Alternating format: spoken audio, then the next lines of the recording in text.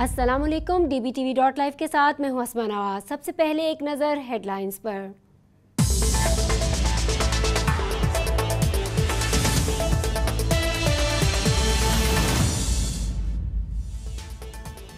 Chairman Tehreek Insaf Imran Khan का कहना है कि मेरी जिद्दोजहद रंग ला रही है। तब्दीली की हवा चल पड़ी है, कहते हैं कि अल्लाह की पकड़ हो तो पनामा जैसे केसेस निकल आते हैं।